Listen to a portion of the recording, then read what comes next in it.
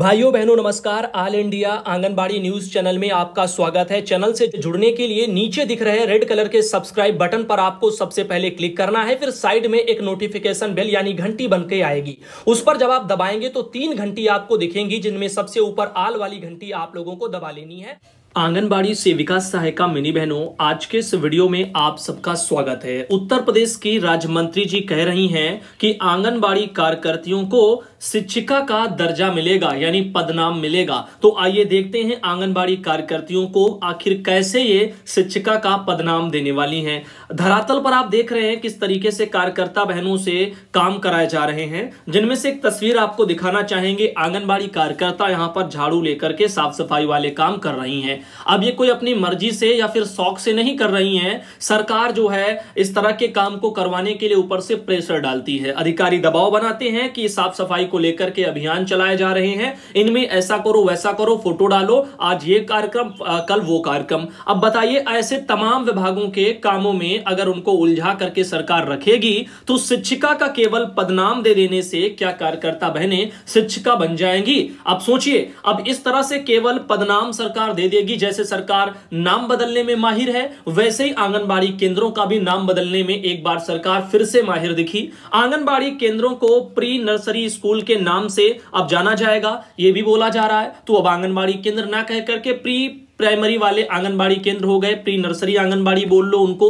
अब यहाँ पर ऐसे ही आंगनबाड़ी कार्यकर्ता को भी अब ये शिक्षिका का पदनाम दे देंगे। तो क्या इनकी आर्थिक स्थिति में सुधार हो जाएगा या फिर ये एक्चुअल में शिक्षिका बन जाएँगी? अब इस सवाल को आपके सामने रखते हैं। कमेंट में आप अपना जवाब ज़रूर देना और आज के इस वीडियो को पूरा ज़रूर देखना। बहुत सारी जानकारी इसमें लगी है। तो पहले तो आपको यही बताते हैं कि राज्य मंत्री जी का यहाँ पर कहना क्या है। अमृत विचार बाराबंकी में आर्टिकल प्रकाशित हुआ कि प्रदेश की की महिला कल्याण व बाल विकास पोषाहार विभाग की राज्य मंत्री प्रतिभा शुक्ला। इन्होंने गुरुवार को यहाँ बाल विकास पोषाहार कार्य का, जो है कार्यशाला का शुभारंभ किया और इस अवसर पर उन्होंने महिलाओं की क्या की? गोद भराई की और साथ ही साथ जो है अन्नप्राशन वाला भी बच्चों का किया और उत्कृष्ट यानी अच्छा काम करने वाली आंगनबाड़ी बहनों को उन्होंने पुरस्कृत भी किया। आंगनबाड़ी कार्यकर्ती अब शिक्षिका के पदनाम से जानी जाएँगी और आंगनबाड़ी केंद्र प्री नर्सरी स्कूल कहलाएँगे। तो आप देख रहे किस तरीके से जैसे योगी सरकार नाम बदलने में माहिर है वैसे ही एक बार बाल विकास विभाग में भी नाम बदल करके सारी जो है सुविधाएँ लागू हो गई। एक तो कार्यकर्ता को, कार्यकर्ता ना कह करके अब उनको शिक्षिका बोला जाए और साथ ही साथ आंगनबाड़ी केंद्रों को आंगनबाड़ी केंद्र ना कह करके प्री स्कूल बोले जाए, प्री नर्सरी स्कूल बोले जाए। अब समझ रहे हैं चीज़ों को और साथ ही साथ आंगनबाड़ी बहनों से जो काम कराए जा रहे हैं, वो गैर विभागों के कराए जा रहे हैं। कोई भी योजना आए, कोई भी कार्यक्रम हो, कैसे भी तरह के हो, चाहे स्वास्थ्य विभाग से रिलेटेड हो या साफ़ सफ़ाई से हो, उनमें कार्यकर्ता कोई भी इस तरह से क्या करते हैं झाड़ू पकड़ा करके मैदान में सफ़ाई करने के लिए उतार दिया जाता है। या फिर बीएलओ के काम सौंप दिए जाते हैं, या फिर तरह तरह के अन्य सैकड़ों काम बहनों पर लाद दिए जाते हैं, जिसके चलते शिक्षिका के तौर पर जो उनकी जो है वो होनी चाहिए, ज़रूर वो होनी चाहिए, एक तरह से जो जिम्मेदारियाँ होनी चाहिए बच्चों के प्रति, वो वो करने में बेचारी पीछे रह जाती हैं। अब आप देख रहे हैं इस तरह से उन्होंने यहाँ पत्रकारों से कहा कि प्रदेश को कुपोषण मुक्त बनाने के लिए उनका विभाग प्रदेश के प्रत्येक जनपद में एक जन आंदोलन चला रहा है और आंगनबाड़ी केंद्रों के स्वरूप को बदला जा रहा है। अभी तक आंगनबाड़ी केंद्रों की पंजीरी बांटने वाले केंद्र के रूप में उन्हें पहचान थी। तो अभी भी वही है। अब उस, उसको भी खत्म एक तरह से हो गया तो अब उसमें भी कमी हो गई है। बाकी बढ़ा अच्छा कुछ नहीं हुआ। पहले कम से कम खाने पीने का बंदोबस्त था, सुबह दोपहर नाश्ते वगैरह का या खाने का। अब तो वो भी सरकार ने बंद कर रखा है। और उसके अलावा, जैसे कि ये कह रहे स्वरूप को बदला जा रहा है। तो स्वरूप कुछ ही केंद्रों के बदल रहे हैं, बाकी के तो ऐसे ही बने हैं। जर्जर अवस्था में खड़े हैं, न जाने कब गिर जाएँ। बरसाती सीज़न चल रहा है, न जाने कितने पर जो है ऐसे ही तलवार लटकी पड़ी होगी, लेकिन उसकी ओर ध्यान नहीं दिया जा रहा है, ना ही जो है हर केंद्रों पर बुनियादी सुविधाएँ पहुंचाई जा रही हैं। तो इन तरफ़ भी गवर्नमेंट का ध्यान होना चाहिए और बच्चों के खान पान और उनको वहाँ पर उनका खुद का भवन हो, इसके बारे में भी जो है सरकार सोचे। क्योंकि अब ये किराए पर जो चल रहे हैं, उनमें तमाम मुसीबतें आती हैं, शिक्षिका को भी आती हैं और तो और बच्चों को भी आती हैं। जो मकान मालिक हैं, उनको भी आती हैं, क्योंकि उनको भी समय से उनके मकान का किराया जब मिलता नहीं है गवर्नमेंट से तो फिर वो भी परेशान होते हैं। अब देखो, यहाँ पर इनका कहना है कि अब इनको नर्सरी नर्सरी के रूप में विकसित किया जा रहा है। सुबह आठ बजे से बारह बजे तक इन आंगनबाड़ी केंद्रों पर नौनिहालों को शिक्षा दी जाएगी। यहाँ इन बच्चों को शिक्षा देने वाली कार्यकर्ती शिक्षिकाएँ कहलाएँगी। बताओ, आंगनबाड़ी कार्यकर्ता शिक्षा देंगी और वो आंगनबाड़ी ना कहकर के शिक्षिका कहलाएँगी। लेकिन सरकार इनके लिए ना तो कोई नियमावली बनाई है, ना तो इनको जो है शिक्षकों की तरह वेतन मिल रहा है, ना ही जो है इनको राज्य कर्मचारी का दर्जा मिला है। जब इनको पैसे देने की बात आए तो ये मानसेवी हो जाती हैं और वैसे जो है यहाँ पर शिक्षिकाएँ हो जाएँगी। तो ये अजीब तरह की शिक्षिकाएँ हैं जो सरकार अपने यहाँ पर नाम बदल करके अपना काम करवा रही है। फ़िलहाल के लिए इनका कहना है कि आगे चलकर इन्हीं बच्चों को परिषदीय स्कूलों में दाखिला भी दिया जाएगा।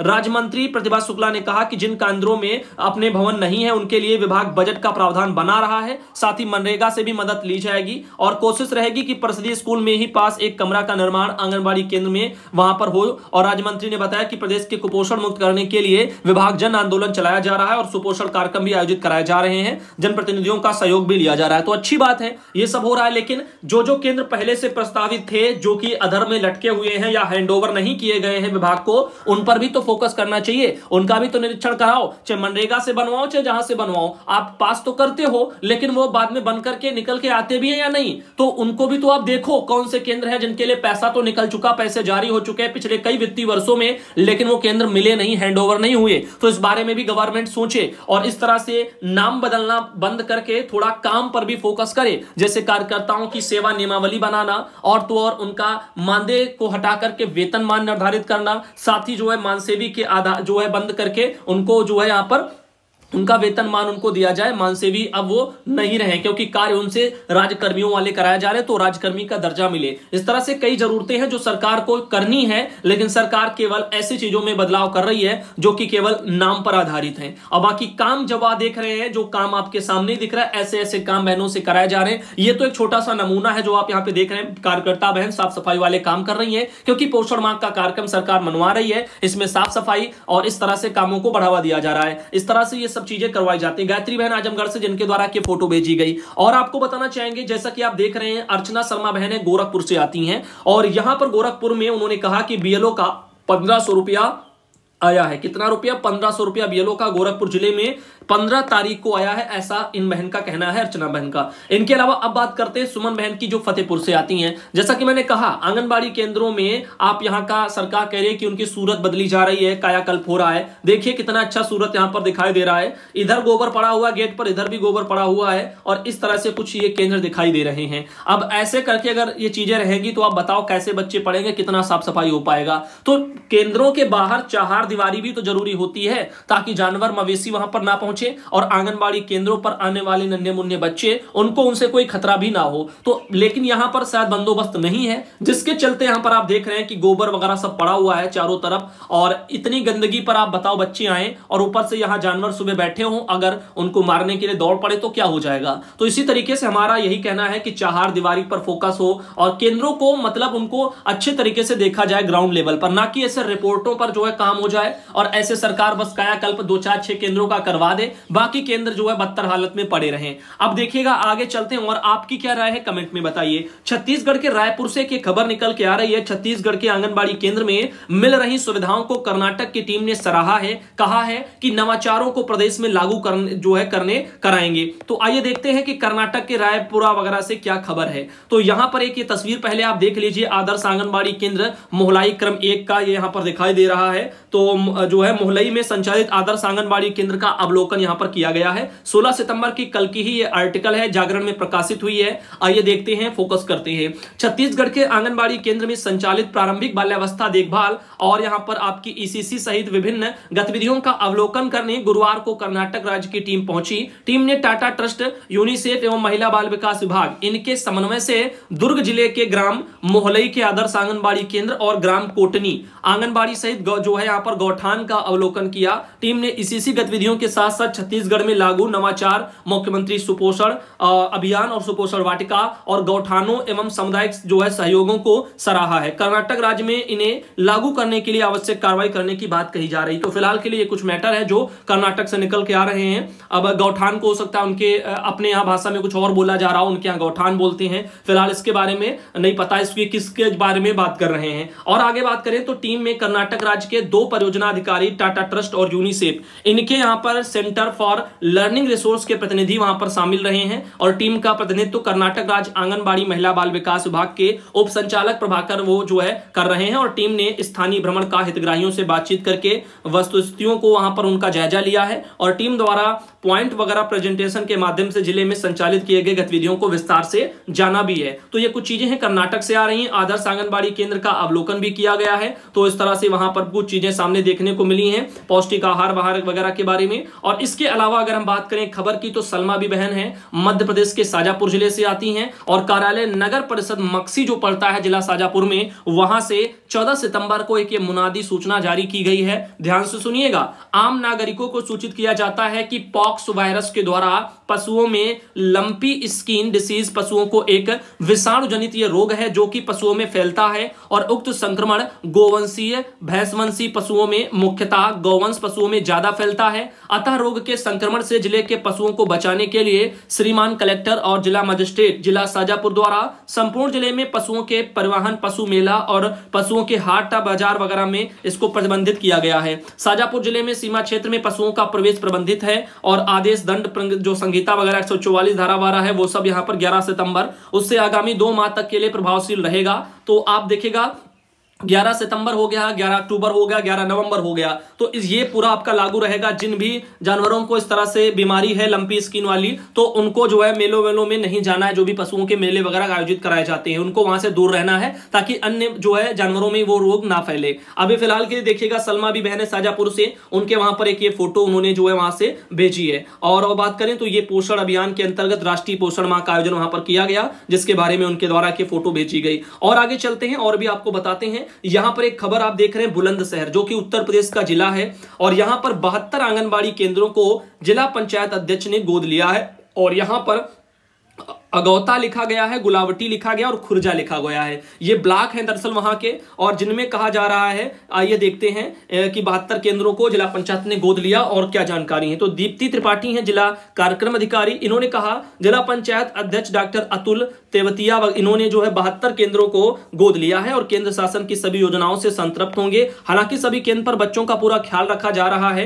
इन प्रतिनिधि में आंगनबाड़ी केंद्रों को गोद ले सकते हैं, विभाग द्वारा केंद्रों पर सभी व्यवस्थाओं को देखा जा रहा है। तो फ़िलहाल के लिए गोद तो ले लिया। अब यहाँ पर बदलाव वो करे, तब तो अच्छी बात है। अब अगर एक, दो, तीन, चार, दस जो भी कम मात्रा में अगर लिए जाते किसी के चलते तो वो उन पर जो है सुविधाएँ ज़्यादा देखने को मिलती अब बहत्तर आंगनबाड़ी केंद्र को इन्होंने गोद तो ले लिया। अब बहत्तर आंगनबाड़ी केंद्रों में सुविधाएँ क्या दे पाते हैं, ये भी तो ज़रूरी होगा। अब फ़िलहाल के लिए इनका कहना है कि कुपोषण को खत्म करने के लिए अब जनप्रतिनिधियों से पहल शुरू कर दी गई है। जिला पंचायत पंचायत जो अध्यक्ष है, उन्होंने तीन ब्लॉक के बहत्तर आंगनबाड़ी केंद्र गोद लिए हैं। इन केंद्रों को शासन की योजनाओं से संतृप्त किया जाएगा। और कुपोषण को खत्म करने के लिए पूरे प्रयास भी किए जाएँगे। जिला पंचायत अध्यक्ष केंद्रों पर निरीक्षण करके भी व्यवस्थाओं को देखेंगे और सभी विभाग के द्वारा कमियों को वहाँ पर दूर भी किया जाएगा। तो अच्छी बात है देखते हैं कब तक जो है इन बहत्तर केंद्रों का ये जिला पंचायत जी जो है वहाँ पर जो कायाकल्प कर देते हैं। या फिर ऐसे ही जो है कागजों पर बस आंगनबाड़ी केंद्र इतने गोद ले लिए गए, केवल संख्या चढ़ी रहेगी। इधर बात करते हैं आशा बहन जो कि लखनऊ से आती हैं और उन्होंने अपने वहाँ पर उनको जो साड़ी का वितरण किया गया ड्रेस का, वो उन्होंने भेजी है। इनके अलावा ये बहनें मिथिलेश मुरादाबाद से आती हैं, वहाँ पर राष्ट्रीय पोषण माह के अंतर्गत ये कार्यक्रम मनाया गया है। उसकी फ़ोटो है और ये एक बहन है जिनका नाम है यहाँ पर विनीता सिंह, जो कि आती है लखीमपुर खीरी से। उनके वहाँ पर भी जो है आंगनबाड़ी केंद्र का शिलान्यास किया गया है वीडियो सर के द्वारा और यहाँ पर वो तस्वीर भी बहन ने अपने वहाँ से भेजी है। और आगे चलते हैं तो और आपको बताते हैं, बहन मंजू देवी औरैया से आती है उन्होंने पौधा लगाया है और ये दयावती बहन है, रायबरेली से आती है, इनके द्वारा एक फ़ोटो भेजी गई है। और आज का ये वाला वीडियो यहीं तक रखते हैं और आपको एक बात बताना चाहेंगे कि जैसे कि कोई स्पेशल खबर हुई जो बड़े लेवल पर होगी, अच्छी होगी आपसे राय लेना चाहेंगे। उसका एक मिनट का, डेढ़ मिनट का मुश्किल से, एक दो मिनट का ही वीडियो छोटा सा, वो कहाँ पर आ जाएगा? सुधांशु पटेल पर आ जाएगा। बाकी सभी जानकारी आपको ऑल इंडिया पर ही टोटल की टोटल वीडियो में मिलती रहेंगी। सुधांशु पटेल पर क्या करेंगे? जैसे भर्ती से रिलेटेड कोई भी खबर आ गई, मान लो, या कोई अन्य छोटे मुद्दे पर एक वीडियो टाइप का हो गया, छोटा सा एक, डेढ़ मिनट का, दो मिनट का तो ऐसे ऐसे वीडियो बीच बीच में ला करके उस पर अपलोड करते रहेंगे। जो भी बड़े वीडियो देखा, जो नहीं अगर देख पाते हैं तो वो छोटे वीडियो उनके सामने आ जाएँगे तो उससे भी देख करके अंदाज़ा लगा लेंगे कि हाँ कोई बड़ी खबर भी सामने आई है। तो उसके आधार पर भी वो चीज़ों को समझ सकते हैं। फ़िलहाल के लिए उम्मीद करते हैं इस बदलाव से काफ़ी लोगों को राहत मिलेगी। जैसा कि बहुत से लोगों के पास अगर टाइम नहीं होता है और वो चाहते हैं कि छोटे से वीडियो में जो मेन खबर हो वही उनको मिल जाए तो वो उनके लिए भी हो जाएगी। और बहुत सी बहनें चाहती हैं कि उनको विस्तार से चीज़ें और हर एक चीज़ उनको बताई जाए और वीडियो में कई खबरें हो, बड़ा वीडियो हो तो ऐसे आधार पर आप ऑल इंडिया